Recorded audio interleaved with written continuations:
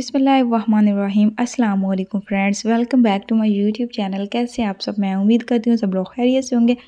आज मैं आपके साथ बेकरी से भी ज़्यादा सस्ते और मज़ेदार कपकेक घर में बनाने की रेसिपी शेयर करूँगी, जिसे बनाना बहुत ही ज़्यादा आसान है, बहुत ही कम चीज़ों के साथ आप बहुत ही ज़्यादा कपकेक बनाकर तैयार कर सकते हैं। बहुत ही आसान रेसिपी है। मुझे उम्मीद है कि आपको आज की वीडियो बहुत ही ज़्यादा अच्छी लगने वाली है। तो रेसिपी जाने के लिए ज़रूरी है कि वीडियो को एंड तक लाजमी देखें। तो बनाना स्टार्ट करते हैं। सबसे पहले एक खाली बाउल लेंगे और इसके बाद इसमें एक अंडा लेंगे। तो एक अंडे से आप ढेरों कप केक बना सकते हैं बहुत ही आसानी के साथ। तो इसको बीट करेंगे एक से दो मिनट के लिए। जब तक इसकी ये जर्दी और सफ़ेदी जो है वो अच्छे से मिक्स नहीं हो जाती।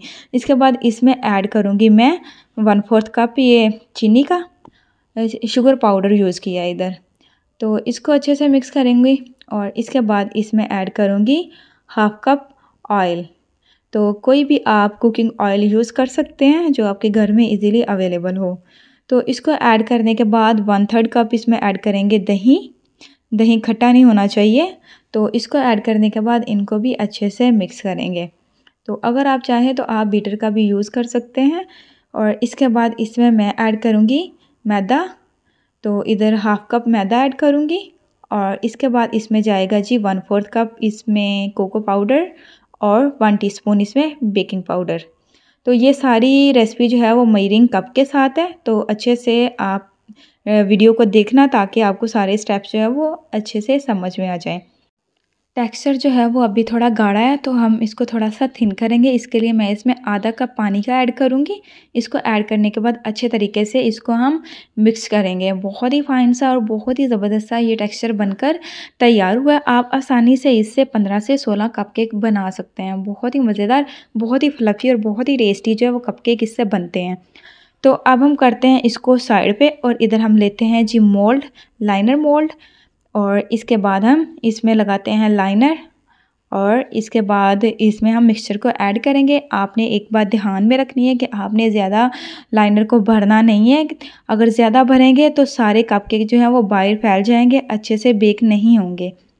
तो आपने आधा भरना है इसको, आधे से ज़्यादा नहीं भरना। अगर आधा भरेंगे तो बहुत ही ज़बरदस्त से फूलेंगे। बहुत ही अच्छे तरीके से बेक हो जाएँगे। बेकिंग जो है वो हम पतीले में करेंगे। बहुत ही आसानी के साथ इनको आप बना लेंगे। तो मुझे उम्मीद है कि आपको आज की वीडियो जो है वो बहुत ही ज़्यादा अच्छी लगेगी। वीडियो अच्छी लगी हो तो मुझे लाजमी कमेंट बॉक्स में बताइएगा कि आपको आज की रेसिपी कैसी लगी है। तो अब हम करते हैं इनको बेक। बेकिंग के लिए मैंने एक कढ़ाई गर्म करने के लिए रखी हुई थी। दो से तीन मिनट हो चुके हैं हाई फ्लेम पर और ये अच्छे से गर्म हो चुकी है। अब इसमें रखेंगे एक स्टैंड और ये मोल्ड रखेंगे ऊपर। तो 20 मिनट के लिए इनको हम कवर करके रखेंगे। अब फ्लेम को लो कर देंगे और 20 मिनट के बाद देखते, देखेंगे। तो देखिए, माशाल्लाह से 20 मिनट हो चुके हैं। आप देखें बहुत ही परफेक्टली बेक हुए हैं, बिल्कुल भी नहीं फैले हुए हैं, बहुत ही ज़बरदस्त बने हुए हैं, ख़राब नहीं हुए ठंडे हो चुके हैं। तो अब हम इनको करते हैं डीमोल्ड। उतनी देर तक मैंने दूसरे कपकेक जो है, वो भी बेक करने के लिए रख दिए हुए हैं। तो पंद्रह से सोलह कप केक आसानी से बना सकते हैं आप। तो या फिर आप जितने बनाना चाहें उतने बनाएँ, बाकी के मिक्सचर को स्टोर करें, बाद में बना लें। तो अब हम करते हैं क्रीम को विप इधर मैंने विपी विप की क्रीम यूज़ की हुई है, बहुत ही अच्छी क्रीम है ये। तो इसको अब हम करते हैं विप और इसके बाद आप इसमें अपनी मर्ज़ी का कलर ऐड कर सकते हैं। अगर आप ना ऐड करना चाहें तो आप ऐसे भी क्रीम को यूज़ कर सकते हैं, ऐसे भी बहुत ही अच्छी लगती है। तो क्रीम विप हो चुकी है। क्रीम विप करने का तरीका मैं पिछली वीडियोस में बता चुकी हूँ। आप देख सकते हैं पिछली वीडियोस तो अब इसमें ऐड करूँगी रेड कलर बहुत ही ज़बरदस्त रेड कलर है ये। तो इसको ऐड करने के बाद अच्छे तरीके से हम मिक्स करेंगे। तो चार से पाँच ड्रॉप इसमें मैं ऐड करूँगी। आप अगर ज़्यादा थोड़ा डार्क करना चाहें तो आप ज़्यादा भी कर सकते हैं। ये आपकी अपनी चॉइस है। तो मज़ीद अच्छे अच्छे डिज़ाइन देखने के लिए आप मेरे चैनल को लाजमी सब्सक्राइब करें। बहुत ही ज़बरदस्त मैंने इधर कपकेक्स की रेसिपी शेयर की हुई है, बहुत ही अच्छे डिज़ाइन शेयर किए हुए हैं। लाजमी देखिएगा, मुझे उम्मीद है कि आपको बहुत ही ज़्यादा अच्छे लगेंगे। तो अच्छे तरीके से मिक्स हो चुकी है। अब हम करते हैं इसको ऐड पाइपिंग बैग में। तो पाइपिंग बैग के लिए सबसे आसान टिप ये है कि आप एक गिलास लें और बैग को हल्का सा फोल्ड करें और इस गिलास के अंदर रखें और इसके अंदर क्रीम को डाल लें। इस तरीके से बैग भी ख़राब नहीं होता और हाथों को भी नहीं लगती और बहुत ही आसानी के साथ आप जो है वो बैग में डाल लेंगे।